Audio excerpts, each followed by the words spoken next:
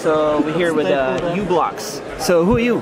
I'm Pelle Svensson from the short range team in Sweden and here we are demonstrating an IoT gateway functionality. We have a Bluetooth Low Energy module inside the di dice, actually five of them. So this is BTLE? Yes. Uh, is it ARM? This is not ARM, but in the gateway we're using ARM mbed. So here is a multi-radio module running Bluetooth and Wi-Fi and a Cortex M4. And we're running an mbed-enabled uh, IoT gateway application inside. What is this? This is a dev board for this mbed. So uh, what does u-blox do? We're a company based in Switzerland to do three things. Uh, positioning devices like GPS. We do cellular like 2G and 3G uh, mod modules and, and, also LTE. And the third leg is where I represent the short range. We do Bluetooth and Wi-Fi modules.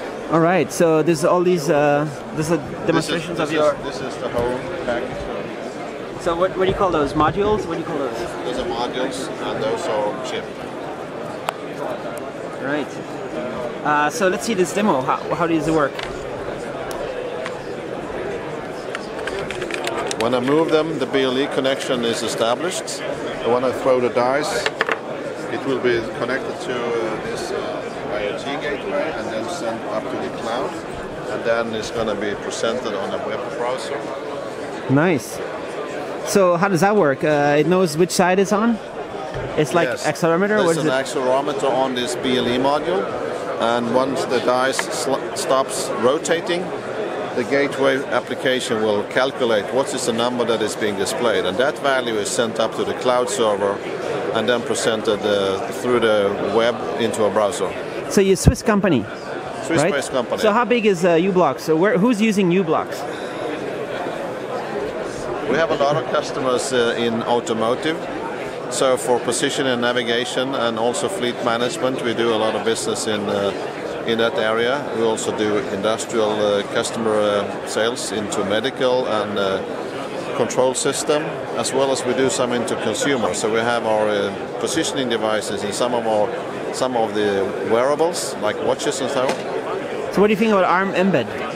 It's an uh, interesting architecture for allowing our customers to embed their application into a microcontroller that is already in our module and we don't use all the resources so we can open up that for our customers to use as well.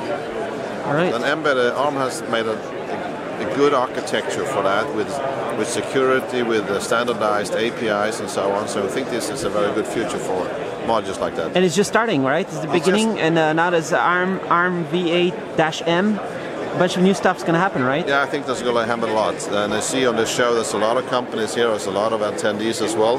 So I think the interest for this combination is very good.